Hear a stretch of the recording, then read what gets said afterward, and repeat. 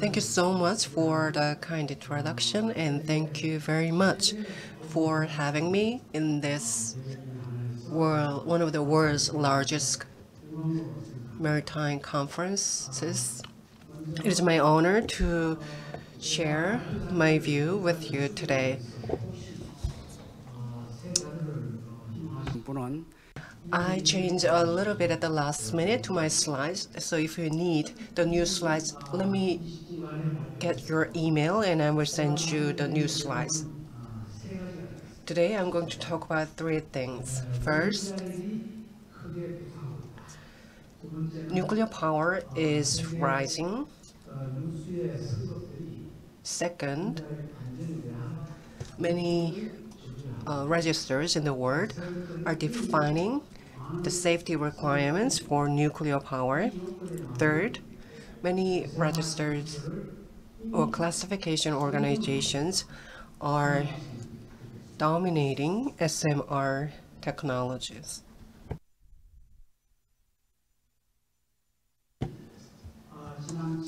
As you know, back in July, IMO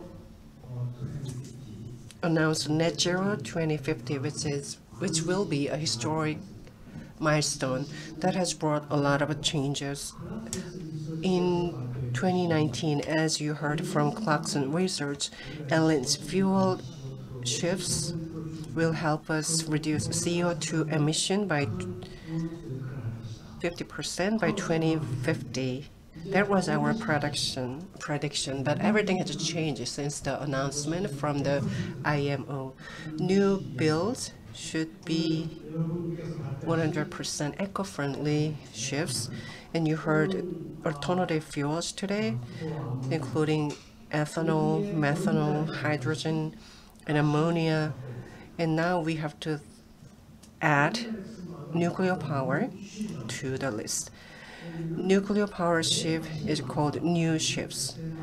Many are interested in them because SMR's safety is increasing, and when SMR is used for ships, it can offer economic feasibility and it can enhance speed and safety codes are under development and we will see a number of safer SMRs in the future. According to enclosed Article 23, bilateral and trilateral agreements between and among countries around the world are increasing, so it is opening up a new era for nuclear ships. And ship owners are also paying their attention to the current trend. If you look at the picture, the y-axis represents CAPEX and OPEX, and x-axis represents operation. And green, green fuel will be two to three times more expensive than existing fuels, but SMR fuel ships compared to diesel and LNG, LNG will be up to five times cheaper. That is why we are calling SMR fueled ships the next generation new ships. If you look at the right-hand side, y-axis represents dollar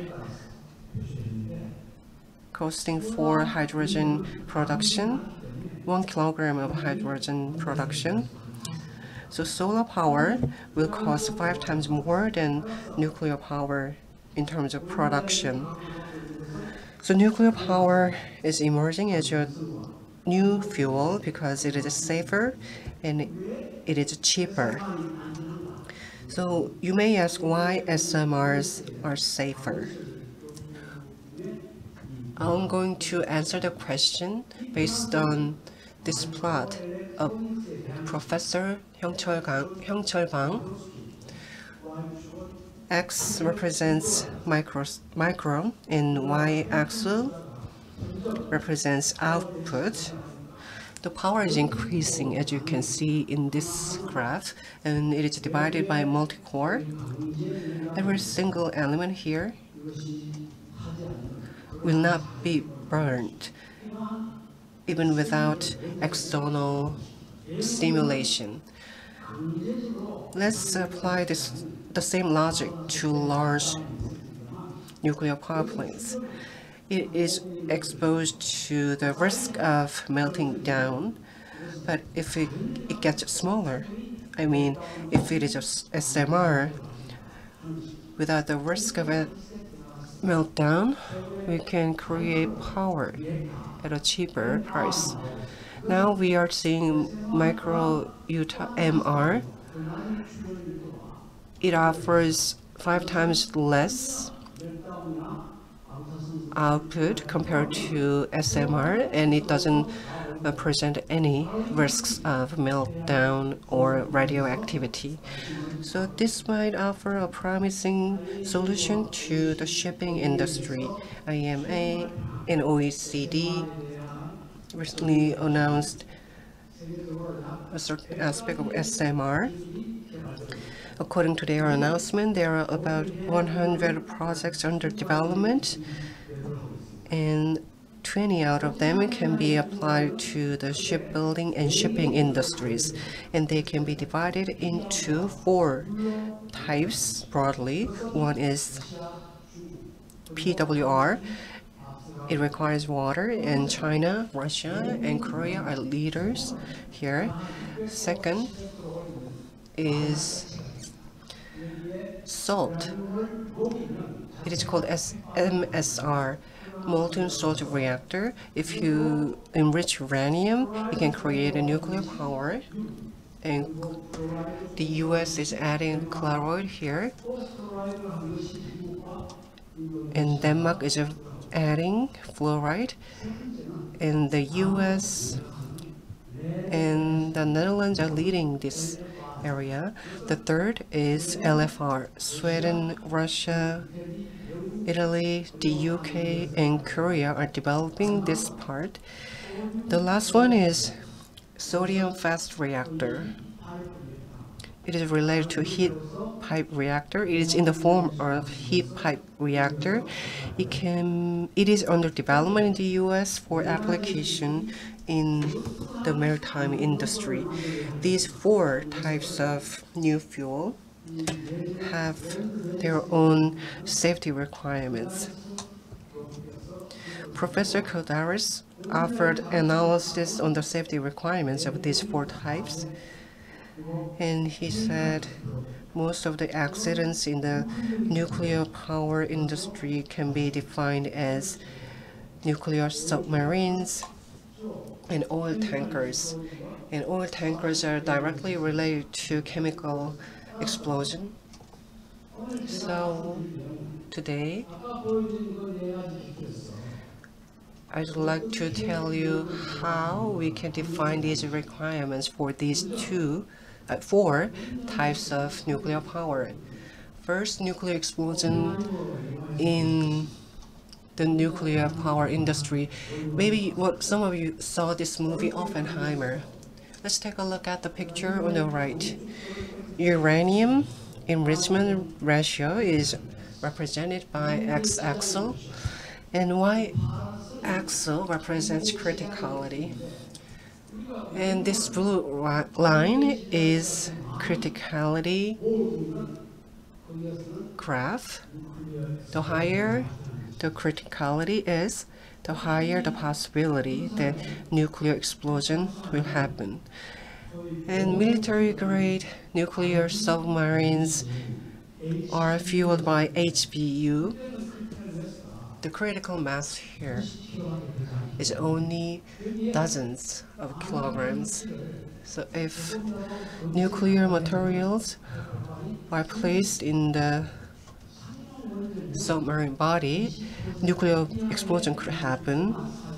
And for commercial ships, only a nuclear less than 20% of uranium enrichment can be used. If it goes over that threshold, the critical mass will be about 400 kilograms, and that can be uh, installed or mounted on a rocket, and it cannot be used for any military attacks or operational attacks.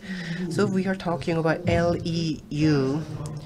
5% of enriched uranium is used, and the fourth generation of nuclear power plant is using molten sodium reactor, MSR, and it is somewhere between 20% and 50% of enriched uranium. In the past, Russia operated submar nuclear submarines fueled by enriched uranium, and it was those submarines were refueled at seas, and nuclear materials were approached by the body when uh, the ship body is shaken or moved was unsettled by waves that could increase the risk of explosion. That is why Russia shifted its position and decided to refuel their nuclear submarines on ground and on shore. The U.S. is using 90% of enriched uranium, and nuclear submarines of the U.S. fueled by nuclear power its life expectancy or life cycle is longer than the conventional submarines. But for icebreaker, more than 20% of enriched uranium cannot be used. That is why Russia brought their submarines to dry, per, a dry harbor, a dry deck, because they decided that for commercial ships, that number is not high enough. As you can see here, highly enriched uranium, it offers more than 40 years of life cycle and criticality is almost one. But when you use 5% of enrichment, nuclear fuel should be replaced every two years. If you use 20%, the refueling cycle goes up to 20 years. So SMR is too dangerous to be used in the maritime industry and it can also generate too much waste. That is why SMR is not that popular. In contrast, the blue dots here, they represent fast reactor. They burn uranium at 280 degrees. And that, that supplement plutonium-239. So the intensity of the flame can last at the same level for as long as 40 years. So it can offer more promising solution to the maritime industry because you don't have to refuel or replace your nuclear fuel for up to 40 years. So most of the research focus has been on fast reactor in recent years. A fast reactor includes MSR, and liquid FR, and gas FR was found to be safe, but it is too big according to some people. So I'd like our own elaborate on that. So today I'm going to focus on MSR and LFR. MSR was developed by TerraPower, founded by Bill Gates.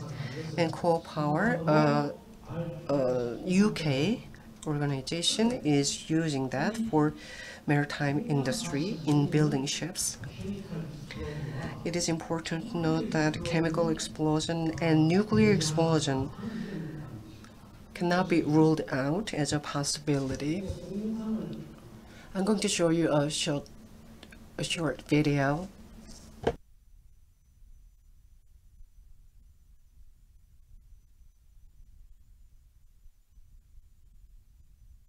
total surprise. I was expecting a little bit of splattering, but what I got was like a full-on powerful explosion. Look at the cavitation bubbles on the glass, and it just shattered it and blew that fish tank glass across my yard. The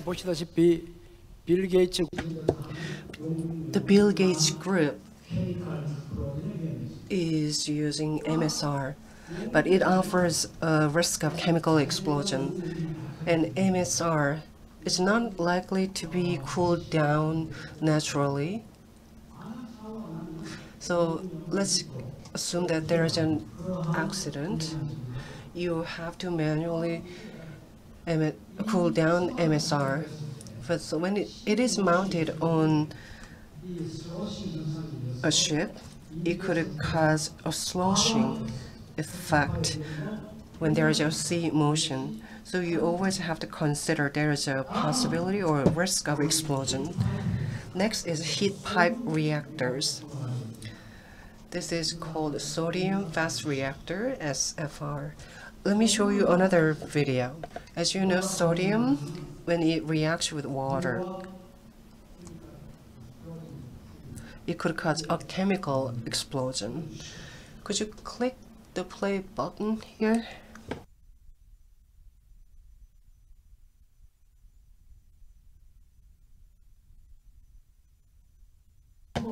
So sodium fast reactor also carries a risk of chemical explosions.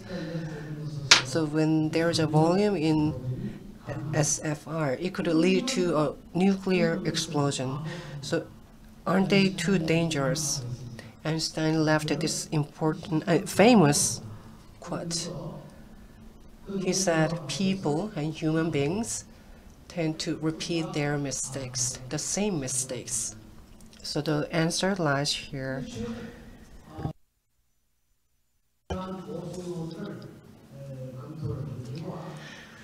So there has been a review of fast reactors in ABS in the US said lead reactor is the safest and RINA the classification organization in Italy said lead reactor is the safest because it and it is more it's the most economical because it doesn't require any replacement for over 40 years. And it was already used for the Soviet Union's nuclear submarines and it can lead can be sunk down to the bottom of the sea and Eurasian Science Technology University collaborated with DMB said sealer is the safest. So lead fast reactor is getting more popular because it can ensure safety not only offshore but onshore. Last May,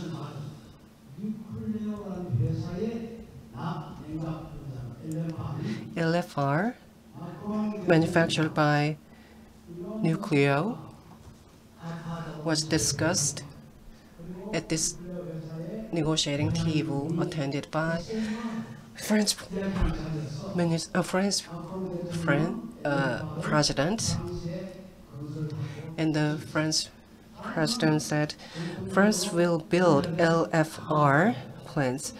France has been strongly pushing forward LFR. It has the most advanced technologies when it comes to sodium, but since the Fukushima nuclear leakage accident, they have been staying away from LFR.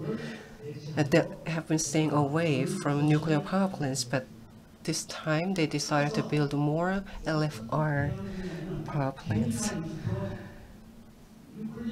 For the shipbuilding and shipping industries, natural circulation, LFR, and whole life and the whole life cycle can be covered by LFR. So it is a prevailing thought that LFR is the best alternative and solution. There are three technologies that are competing. One is nu- that is nu- uh, one is Newcleo, co-developed by Italy and the UK and chosen by President Macron. The second thing is sealer.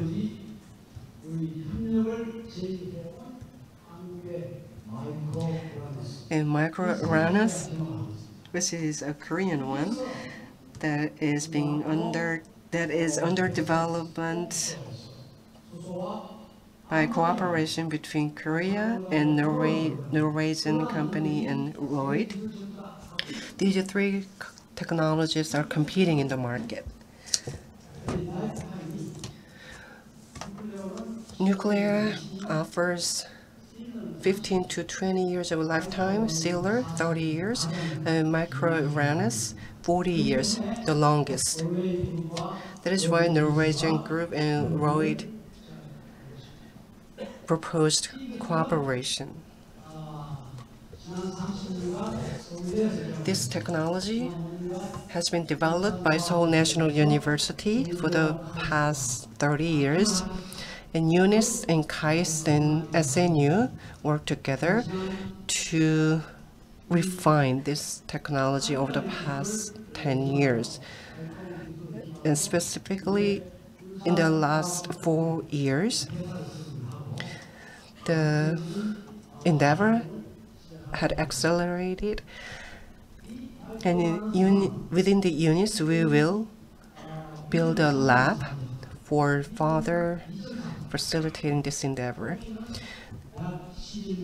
It is 11 meter high, and this SM, this reactor can be mounted on a large container ships, and it is without any risk of meltdown. In, under the worst case scenario, radioactivity will not be leaked outside the reactor, so it doesn't require any emergency evacuation. So compared to the, the other two LFR, this one is most competitive and safest. I don't have much time left, so I'd like to conclude my presentation by showing you this video. So please click the play button down here.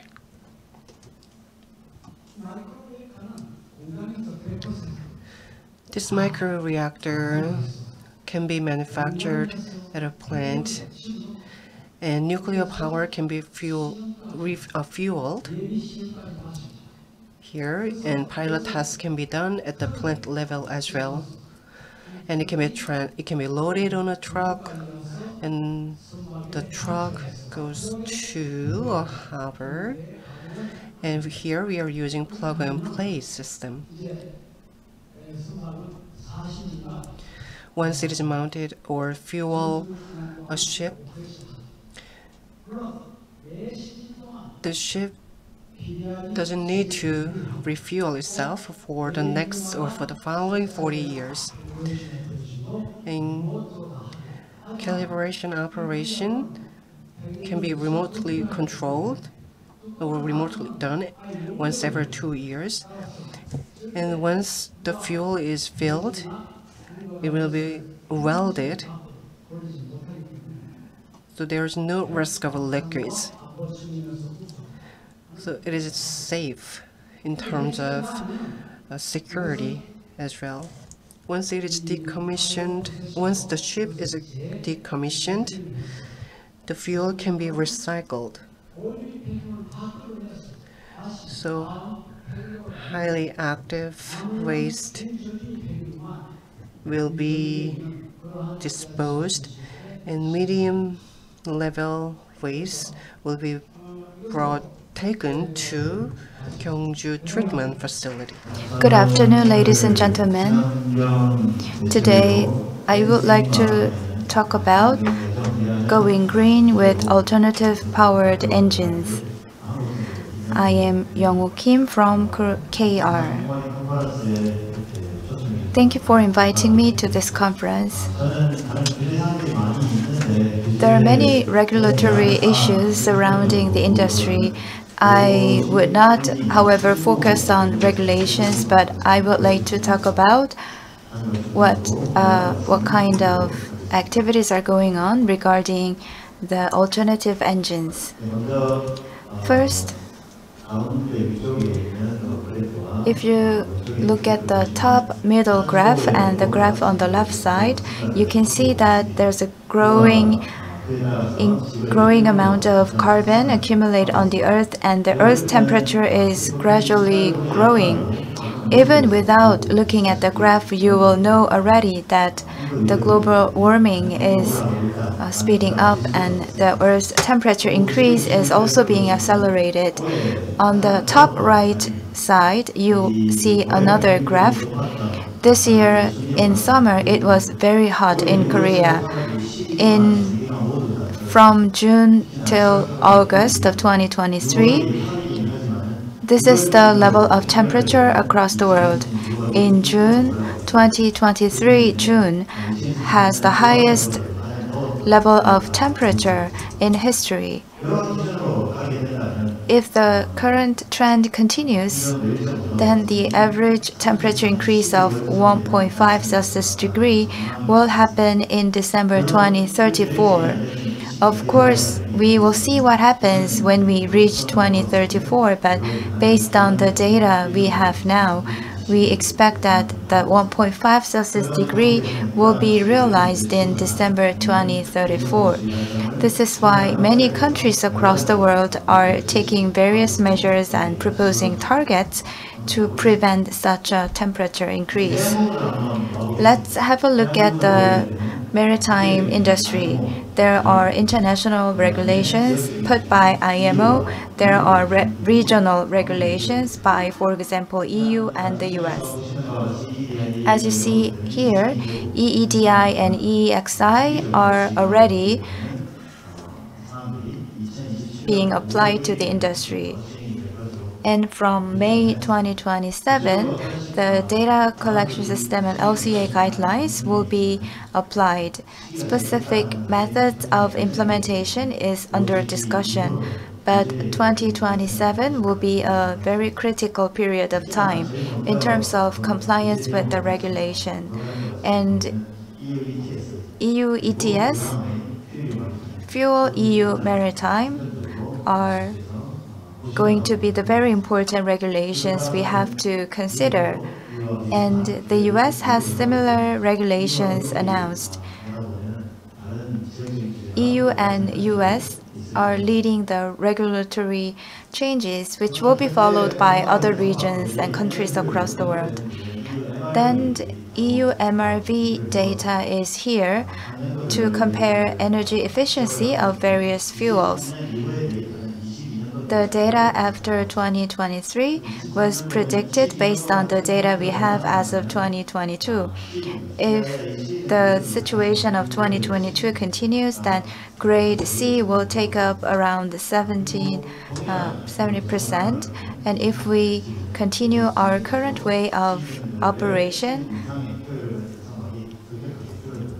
the number of vessels with efficiency of grade C or higher will dramatically decrease.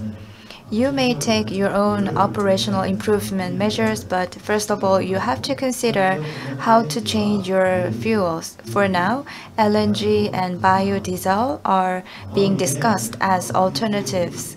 And in the far future, green fuels will be used more to achieve energy efficiency level of grade C or higher and to also meet the GHG reduction targets.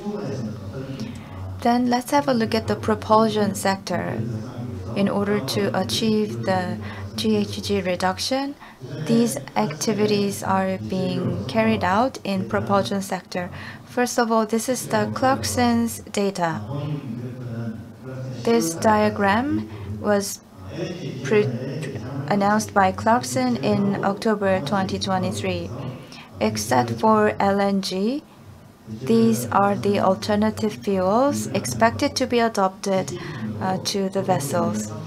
Based on GT, 38% will be taken up by alternative fuels, and LNG takes up 70, 67% and methanol 25%. So far, LNG and methanol are the main options, uh, main uh, alternative fuels. Recently, an order was placed for ammonia vessel. Then, in order to choose, make a good choice of the alternative fuels, there are key considerations. First, we have to reduce emissions. We have to reduce penalties. And we have to see if these alternative fuel technologies are stable technologies and future-proof technologies. We have to look at infrastructure challenges and the amount of fuel supply. We have to also consider the ship design changes and engine availability. We have to consider these points when we adopt alternative fuels. Biodiesel is the easiest one. There are issues like viscosity and micro uh, growth in fuel, but biodiesel is the easiest alternative fuel we can use now. And regarding the use of biodiesel, all stakeholders say that they can accept biodiesel. But if you look at the footnote below there, uh, there are some comments that if you use biodiesel, lifetime of components could be reduced. But uh, it is true that we can use engines uh, continuously when we adopt biodiesel. And GS Caltex also is going through a demonstration project to use biodiesel on the vessels. And two-stroke DF engines can be adopted by vessels. On the right side, you see different configurations, different types of engines, beginning from LNG, methanol, and LPG, and ammonia, and someday hydrogen. These fuels can be employed by the two-stroke DF engines. For now, methanol and ammonia have received the highest level of attention because they their fuel supply system could be similar to biodiesel because they can be supplied in the form of uh, liquid. So the existing crew and seafarers would feel familiar with using methanol or ammonia. Of course, we have to consider the properties and characteristics of methanol and ammonia, so we have to consider safety issues, but basically, the basic concept of using methanol and ammonia are similar to the concept of using diesel. If we choose to use LNG, LNGDF methane slip is a very essential issue we have to discuss. If you look at MEPC 80 meeting minutes and Fuel EU Maritime Annex 2, they described the specific figures for LNG methane uh, slip. On the right side, for different types of LNG engine, you can see that there would be methane slip. Currently, regulatory discussion is going on, and you have to calculate the cost you may have to spend. And if the methane slip increases, you will have to spend more regulatory cost. For example,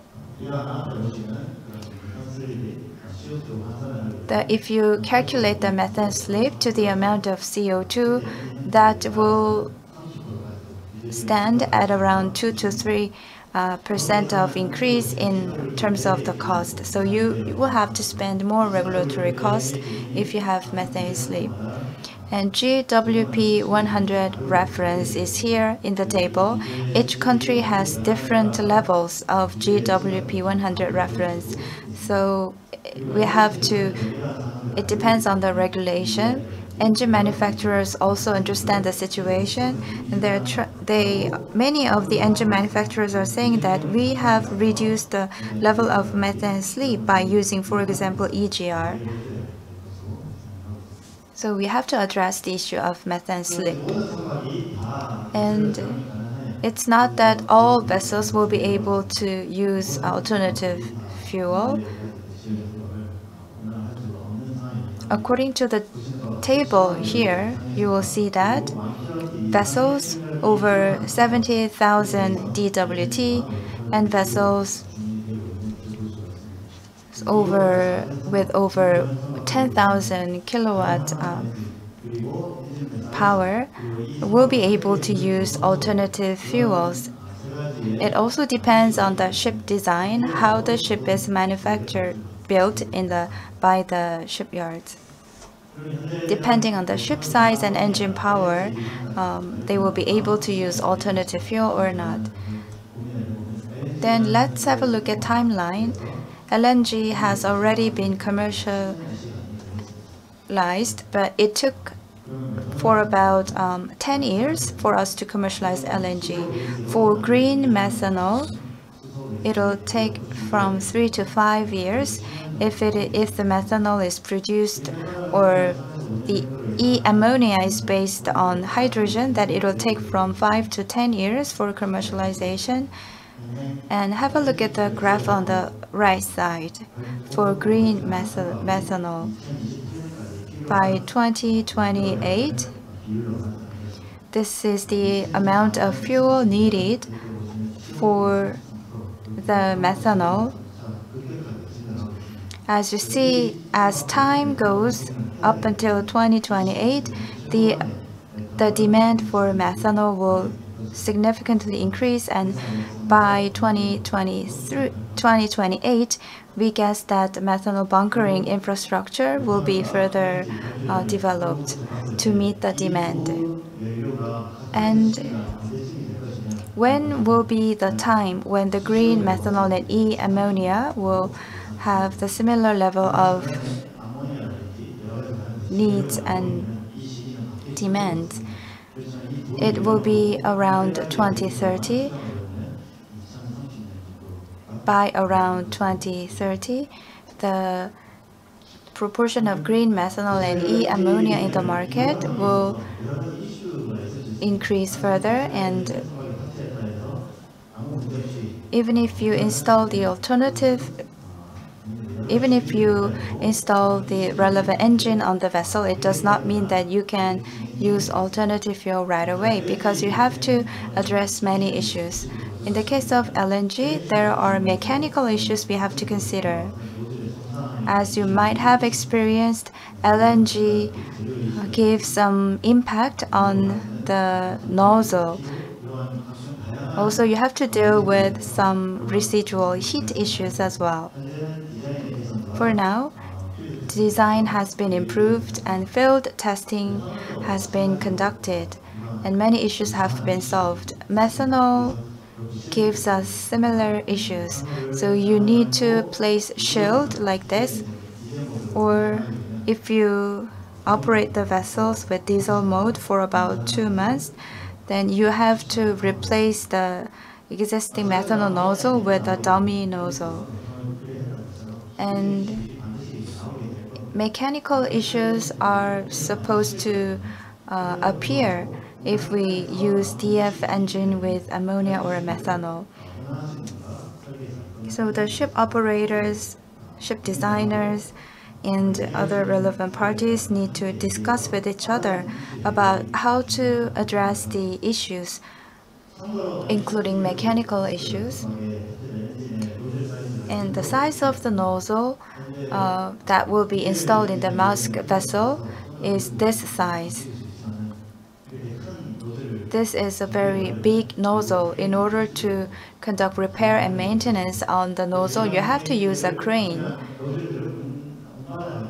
So in order to carry the nozzle and in order to transport them to the maintenance site, you have to use a crane or you need you will need to extend a rail to safely carry them to the maintenance site. Methanol and LNG are considered uh, clean fuel, and many people think that the filter will not be clogged. But if you look at the picture here, in LNG and many alternative fuel lines, clogging could be created and that will delay the operation or testings. So before commissioning the engine, you have to uh, look at the filter or you can install some jigs or equipments to prevent clogging of the filter. And methanol, LNG, and ammonia fueled vessels we'll be using the engines controlled by the electronic or the system. So software will become very important.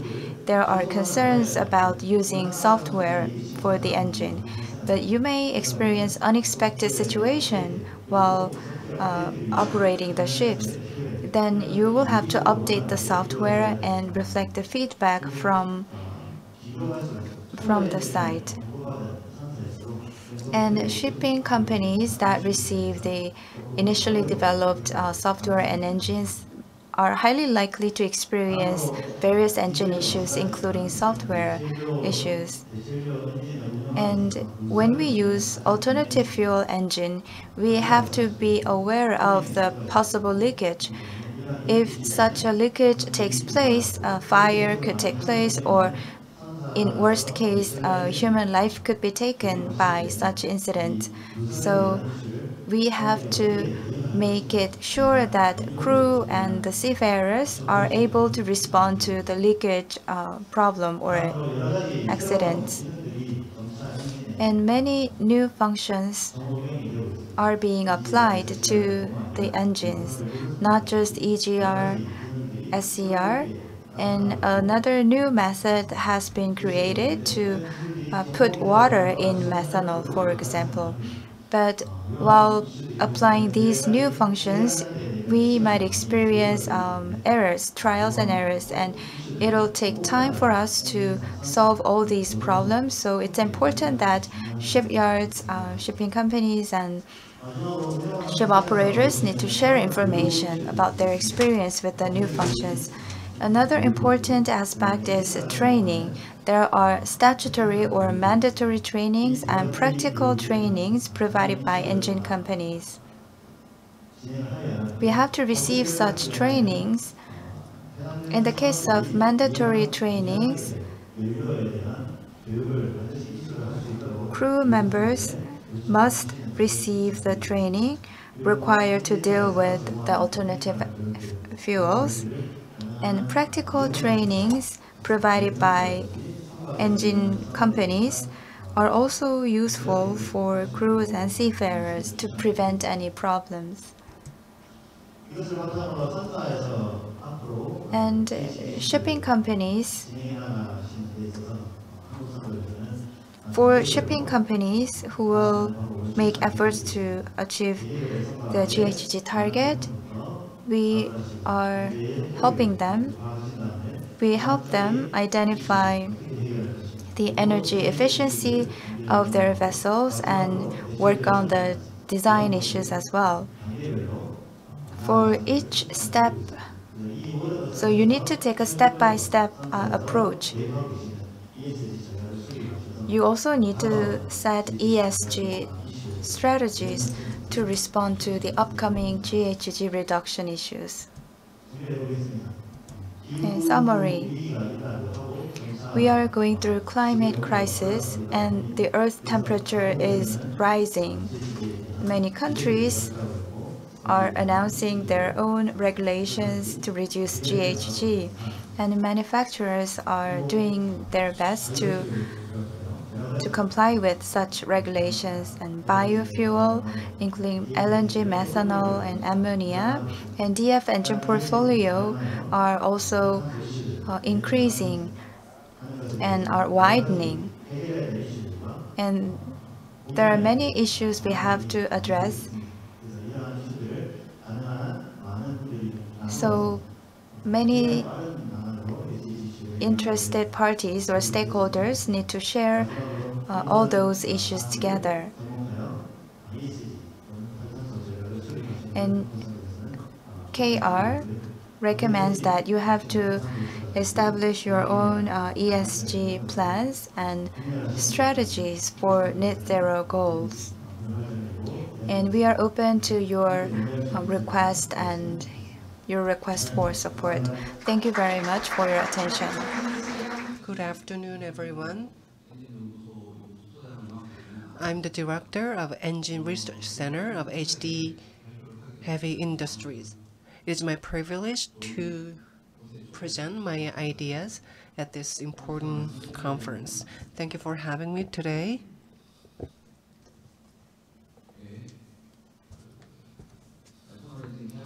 Today I'm going to talk about the development of methanol engine and zero carbon carbon fuel engine for greenhouse gas emission regulations and I will also talk about virtual fuel. This is the content of my presentation. First, I'm going to give you some background, and then will be followed by development characteristics of a ship engine and need for VPD, and methanol engine development in Hyundai Heavy Industries. And I will conclude my presentation with the future plan. Greenhouse gas related regulations have been discussed enough, so let me be brief here. The number of relevant regulations and laws are is are increasing is increasing, and the laws and regulations have increased for a short period of time. Only a few years ago, LNG would be enough to meet the requirements, but there have been too many changes for the last few years. Regulations have gotten stricter.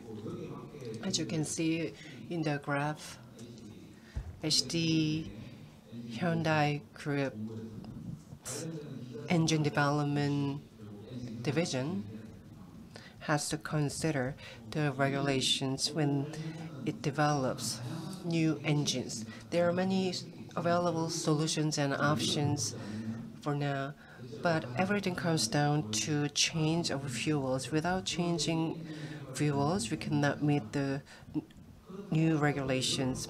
It's important to develop new engines, but changing fuels will not be all cure. So we have to increase, we need a new technology to increase fuel efficiency at the same time. VPD, it includes a long list of technologies, but simply put, it is a technology based on simulation as well as based on data.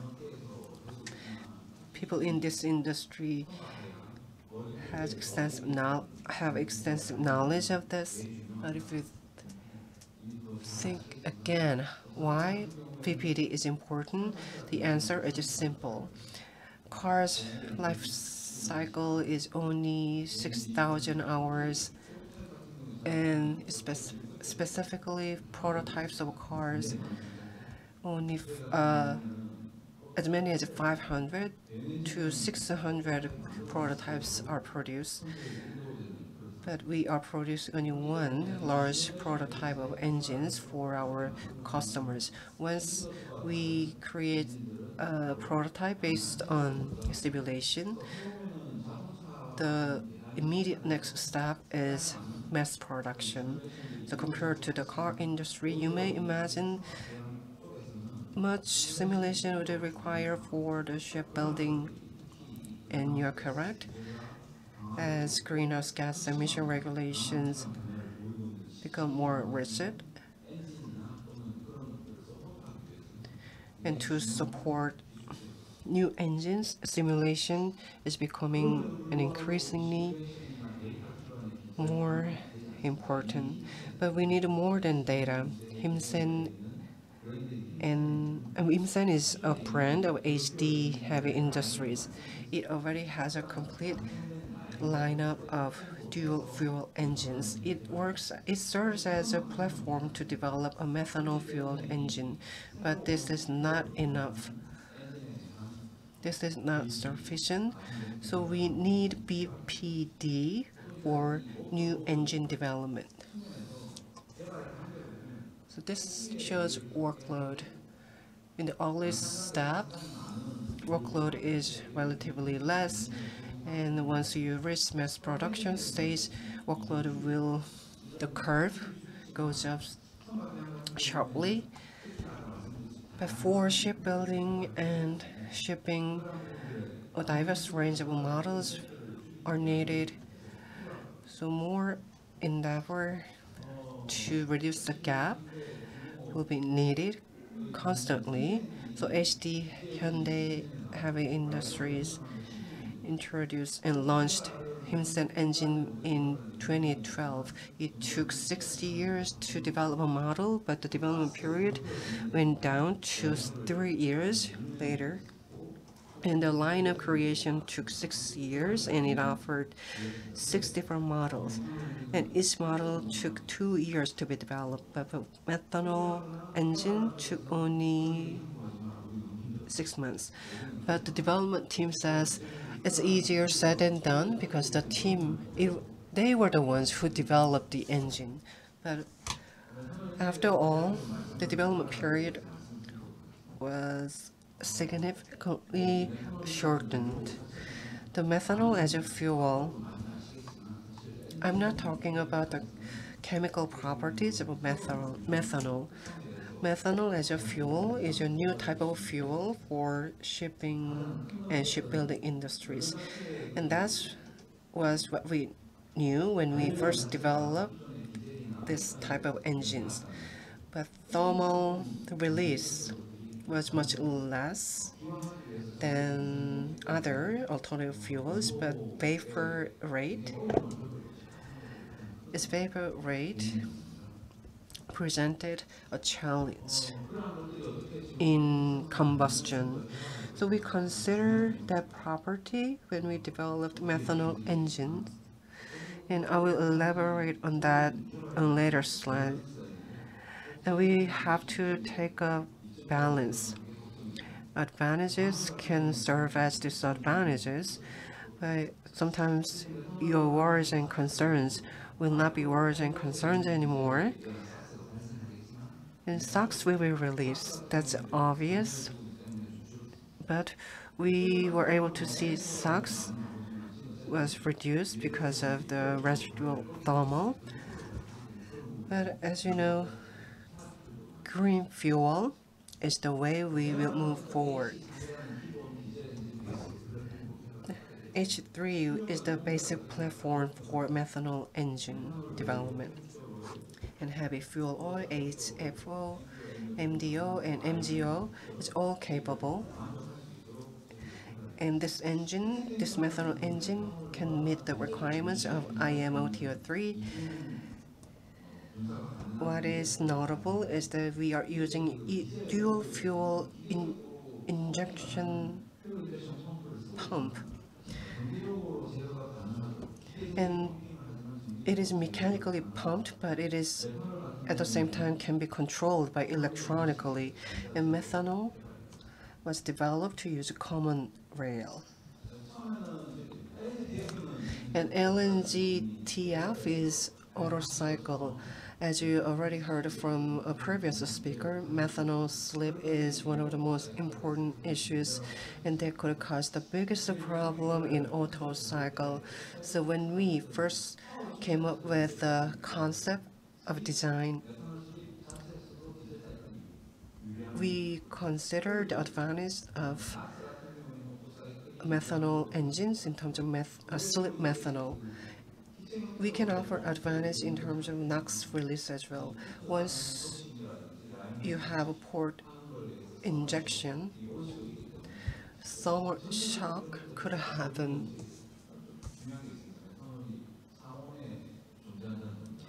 Here you have to consider the methanol can exist at a room temperature. There is something called dwell so micropilot is used to inject diesel and it is followed by combustion and last methanol is injected. So after all, methanol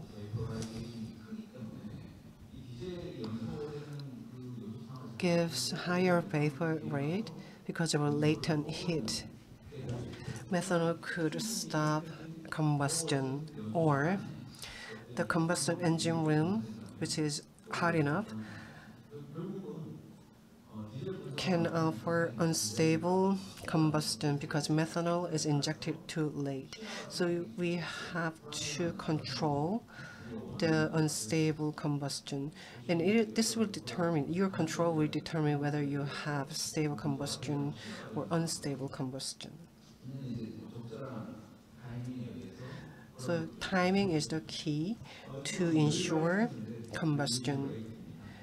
Next, heat release rate. This is a conventional diesel compared to long dwell. Dwell, So dwell has better heat release. So you may suggest zero dwell is the best, but that's not the case because it could interfere with methanol combustion.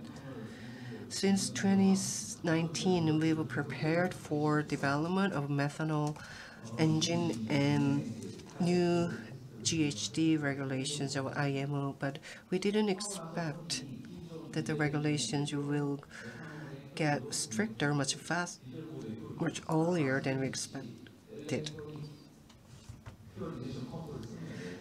We are using electronic fuel pumps. This allows us to use uh, adjust the pumping. Uh, methanol is using common rail, so it offers better efficiency and offers better uh, heat efficiency. Next, smoke. There is only small amount of smoke, so it releases small amount of NOx. As I said earlier, we should strike a balance. And this new engine can, this new development methodology is contributing to reduce NOx release. Equinor Maersk, this is a new shipbuilder. It has taken an aggressive approach. So in keeping up with their uh, efforts, we have developed this engine, and we are proud to say that we made a, at least a contribution to this endeavor. In Euro, Laura sailed from Korea to Europe, and there was a much fanfare. There was much fanfare, and the chair of the European Commission was also attended the ceremony. In DF1, HD Heavy Industries received an order of over 200 DF1, and as you can see on the graph, the order is increasing. And this is an example of VPD.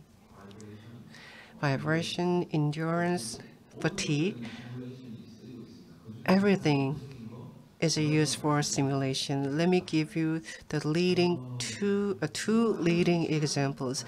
Anyone can do this, but no one can actually put their words into action.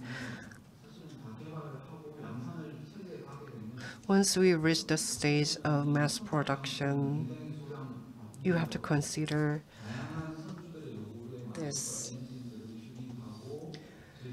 To meet the different needs of ship owners, you have to build a wide range of products in small volumes. So you have to do simulation for every single product. It will cost you a lot.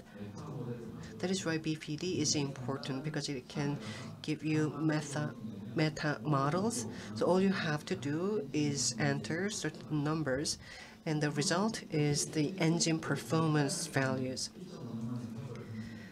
So it took one and a half years only, but that doesn't mean that we worked 24/7 without uh, with losing much sleep. So VPD allows you to find the best position, best results. So you can make more with less. So tests, uh, the number of tests can be reduced by 50%, and at the same time, we could find the most optimized methodology.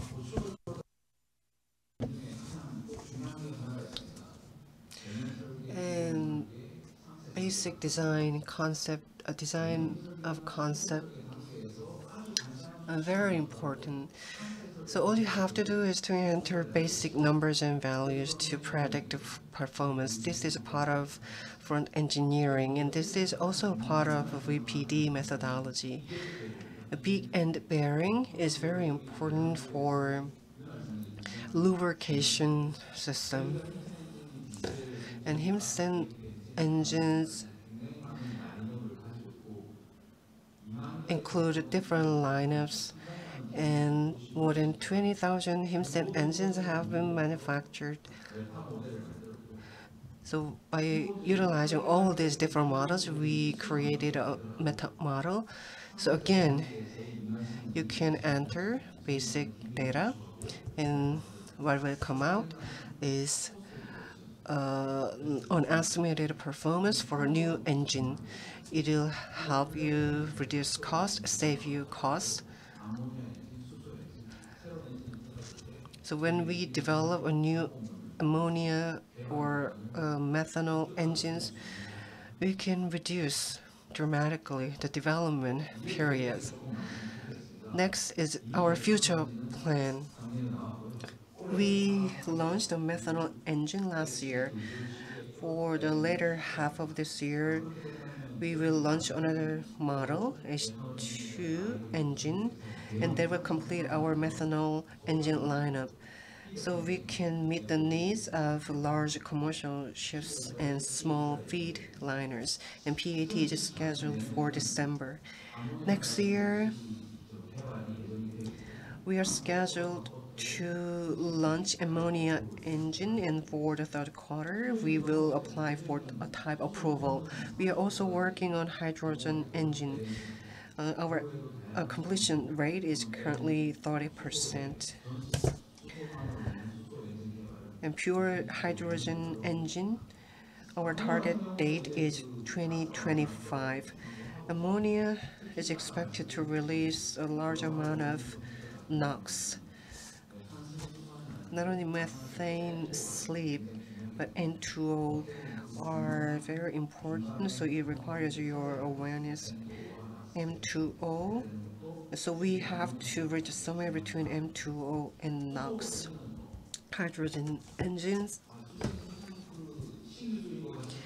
It sounds like a novel technology, but hydrogen hydrogen is becoming a common fuel for vehicles. For low speed and mid speed shipping and operation, hydrogen com- is combusted faster. So that is what we need to control. So this is the summary and conclusions.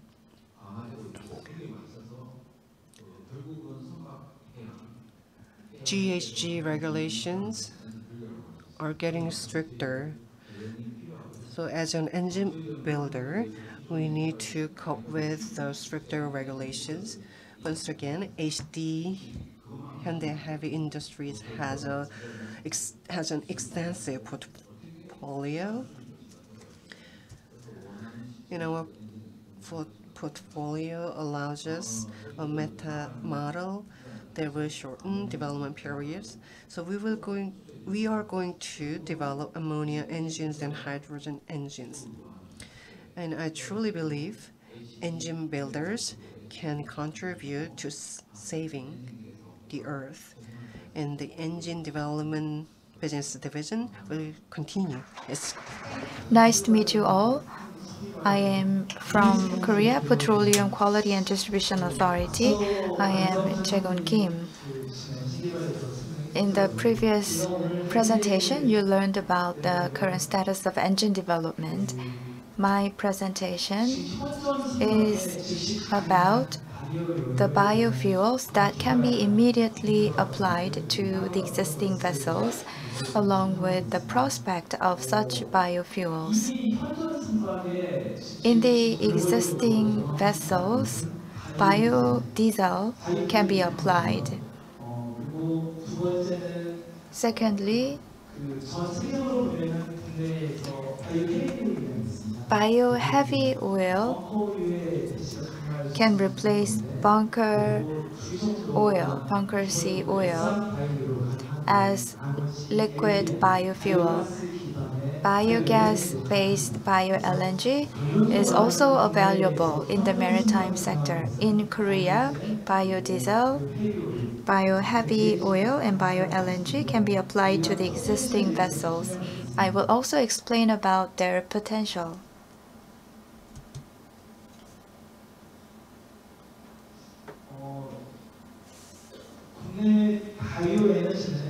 In Korea, among renewable energy sources, bioenergy takes up around 31%. 31% of renewable energy is bioenergy, which includes solid bioenergy, gaseous and liquid bioenergy.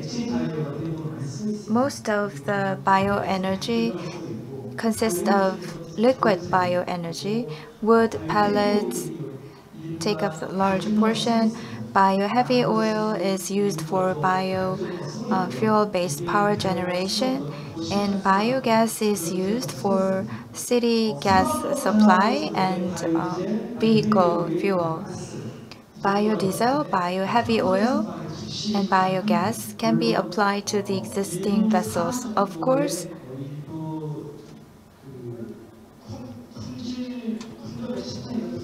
in terms of quality, we need to make some adjustment and improve the quality. In the Korean transportation sector, diesel, natural gas, gasoline, LPG, and jet fuel can be used. For vessels, biodiesel, natural gas, LPG can be applied.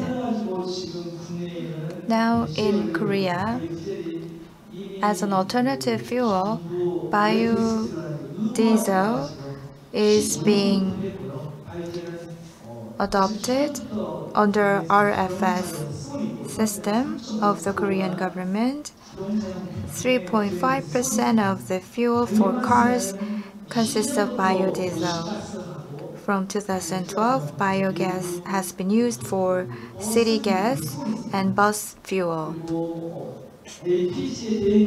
And bio-DME, which uh, is equivalent of LPG, is under R&D process. Biojet fuel is for aviation sector, which is also under R&D step. Recently, the Ministry of Industry, Trade and Energy announced its national biofuel policy for Korea. In the maritime sector, biofuel-based vessels went through demonstration project and all laws and regulations regarding biofuel will be completely announced by 2025 for uh, ship owners. This is what was announced by U Europe EMSA.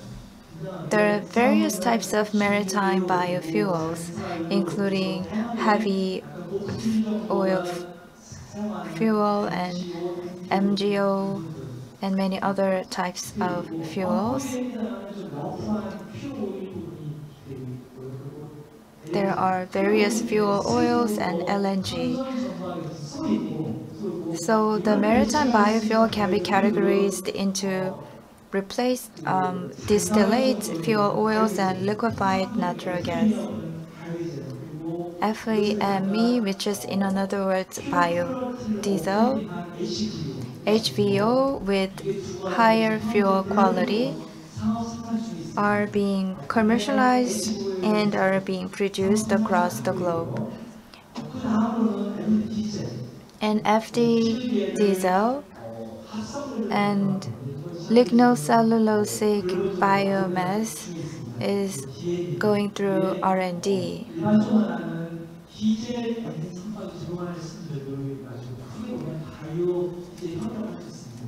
So this is also, this could be a type of biodiesel as well.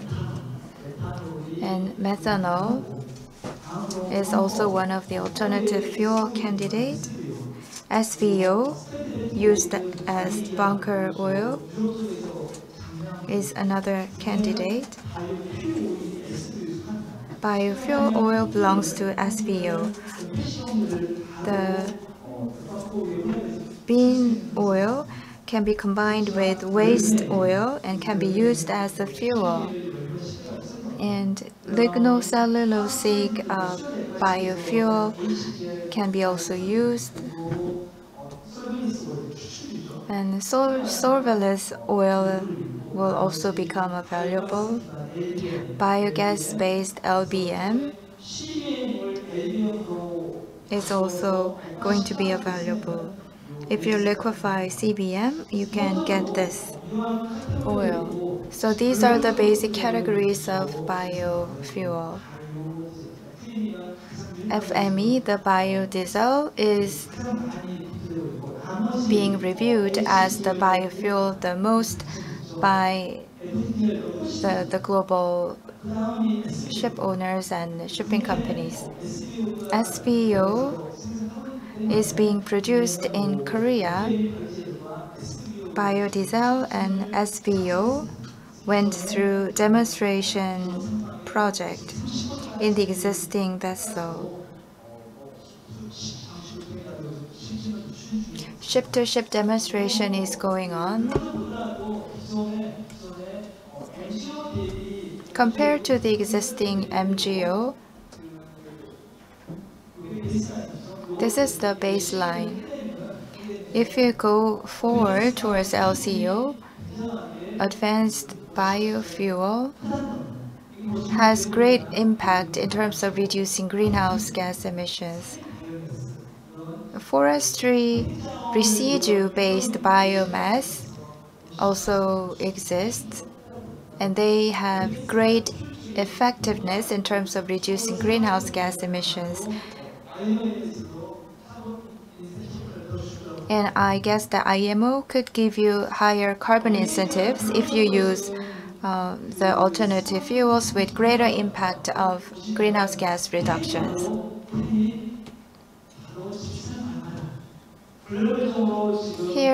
You see the table and there are blue letters that says 10. If it says 10, it means that they are immediately available. FAME and HVO are being produced.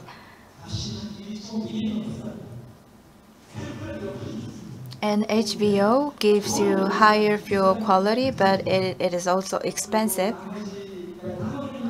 In the case of methanol, OCI Global is commercially producing that fuel. In Korea, biomethanol related R&D is going on, uh, trying to attract investment.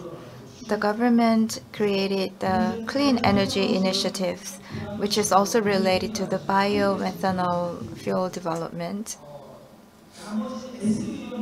In the case of SVO, SVO is available for now in Korea as well. Part of the biogas fuels are also available now. The global market is created around biofuel, HVO, biomethanol, biomethanol, SVO, biomethane are commercially available. The cheapest one is FAME and SVO. SVO is the cheapest one, followed by FAME, HVO.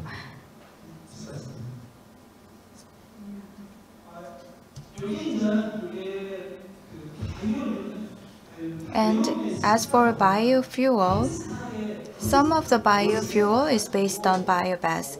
Depending on which feedstock you use, you will have different effectiveness in greenhouse gas uh, reduction.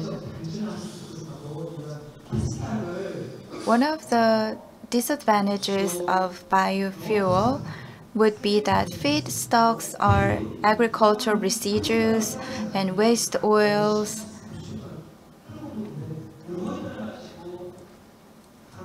Rather, you need to choose the right feedstock for biofuel to generate great impact in greenhouse gas reduction.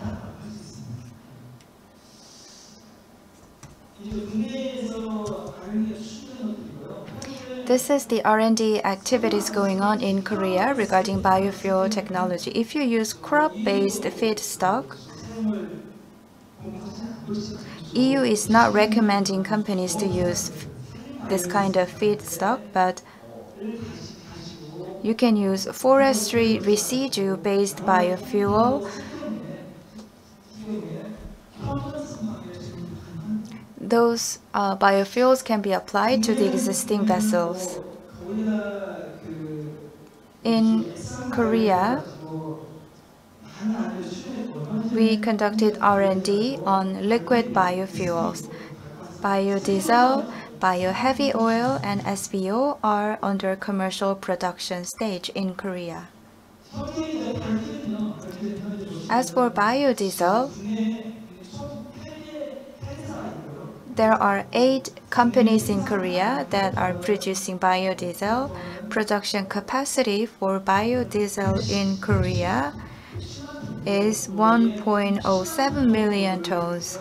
800,000 tons of that is being used by cars. In Korea, general public, the usually car owners are using biodiesel as part of their uh, fuel for their cars we have also imported part of the biodiesel as marine biofuel. Biodiesel is immediately available. Second type of fuel is biogas. In Korea and in many countries across the world, biogas is created through anaerobic digestion of organic uh, waste. And then you liquefy this and use it as um, LNG. In Korea, there are only eight sites that can produce liquefied biomethane. So in Korea, we have a very limited amount of uh, biogas resources. So the potential to create LNG from biogas is quite small in Korea. Next one is bio-heavy oil that can replace the existing bunker oil. In Korea, bio-heavy oil is mostly used for power plants they are used for running boilers and running turbines to create uh, power, create electricity and for power generation. But in Korea, we are going through demonstration projects to use bio-heavy oil for uh, vessels. We are combining various types of bio-heavy oil feedstocks in the demonstration phase. And we need to make improvement in terms of the uh, lubricant uh, lubrication and HVO is turned into paraffin and can be used as a fuel. HVO can be used for cars compared to light oil. HVO is 2.5 times more expensive than the light oil. So HVO is a feasible idea, but it is uh, highly priced compared to other types of biofuel. Next one is biomethanol and FT diesel. They are from waste lumber or waste wood materials. Currently in Korea,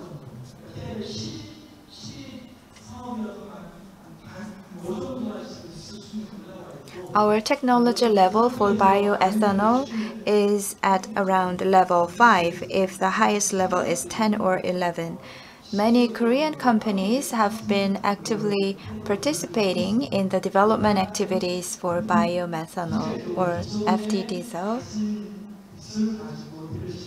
We can develop FT diesel by using the existing technologies and it'll take about five years to commercially produce FT diesel.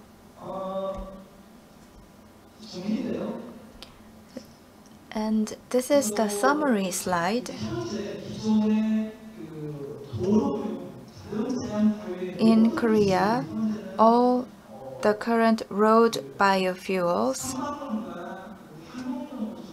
can be shifted to to be used as fuel for maritime sector and aviation sector.